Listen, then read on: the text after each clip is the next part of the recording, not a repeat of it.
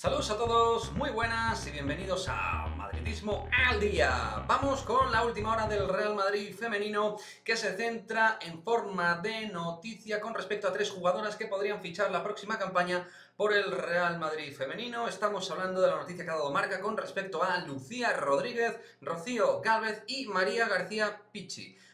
tres jugadoras que podrían estar muy cerca de fichar la próxima campaña por el Real Madrid. Además, en el caso, en primera instancia, de Lucía y de Rocío, decir que ambas jugadoras terminan contrato, por lo, por lo cual, obviamente, sería todo mucho más sencillo a la hora de sus fichajes y dos jugadoras que llevan sonando ya tiempo en el futuro blanco. En el caso de María, eh, de María García Pichi, futbolista del Madrid femenino, estaríamos hablando de una jugadora con futuro que se la quiere tener en el equipo, pero alternando tanto tanto el equipo B como el primer equipo. Esa sería un poquito, al parecer, la idea del de, eh, staff técnico y el staff directivo con respecto a esta joven futbolista. Pero centrándonos sobre todo en el caso de Lucía y Rocío, que obviamente estarían en el primer equipo, en el caso de Lucía, desde luego, se ha consagrado esta temporada como una de las grandes laterales de la primera Iberdrola y una futbolista que desde luego algo muy importante le va a dar competencia directa a Kenty Robles en ese, en ese encuadre derecho, en ese lateral derecho a la mexicana. Es verdad que ahí también Marta Corredera podría jugar, pero David Aznar, por ejemplo, este año está contando con Marta Corredera en el carril izquierdo. Y en el caso de mm,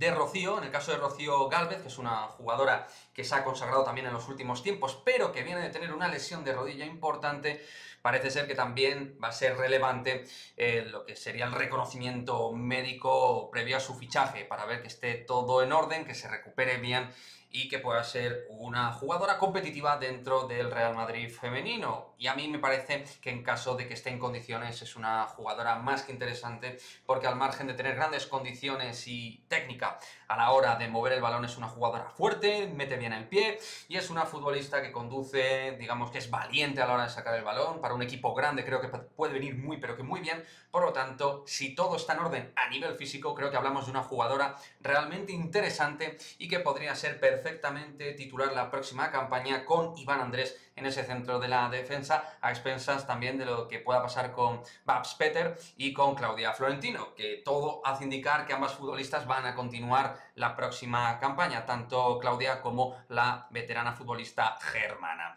Por lo tanto, chicos, esta es la última hora en cuanto a posibles fichajes del Real Madrid femenino. Iré revisando un poquito más que se va comentando a nivel de medios, a nivel de periodismo a todos los niveles para dar aquí toda la información y todos los detalles, todos los detalles de lo que se vaya comentando. Me gustaría que dejéis en el cajón los comentarios con respecto a cómo veis estos fichajes, cómo veis estos movimientos, otras situaciones del Madrid femenino a nivel de actualidad, otras cosas que sean interesantes de, de comentar. Así que nada, suscribiros al canal y nos vemos en el próximo vídeo. Adiós.